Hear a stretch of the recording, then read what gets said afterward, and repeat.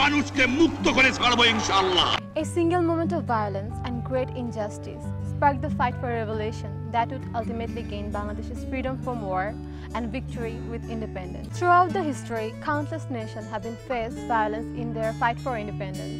However, our country is unique with that. Our fight began with the fight for the right to speak Bangla language and even that led to the unjust death of many brave college students. Today, United Nations recognized this fateful day as International Mother Language Day. Language allows us not only to speak but also understand and feel. It allows us to convey the need for love and peace to stop the war worldwide. I take pride in the fight my people took to gain us for the right of speak my beautiful Bangla language. It's instilled in me the drive to fight for the voices of others and encourage others to be empowered and fight for themselves and fight for their country. Language is power and communication unites. Joy Bangla.